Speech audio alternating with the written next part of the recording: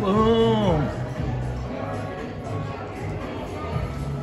That's cool. So that affects the flavor, or is it just for flair? Oh, Definitely okay. affects the flavor. You taste and uh, drink and eat these with your nose and your mouth. Uh, therefore, it's just uh, adds to the flavor profile with the smokiness. It Goes really well with the whiskey. I love it. It just kind of lingers here. It does kind of linger down box, doesn't it? Very I nice. that too. What drink is this, by the That's the way? old fashioned. You have to sing a religious hymn whenever I put it in that box. It's like Hallelujah, Hallelujah.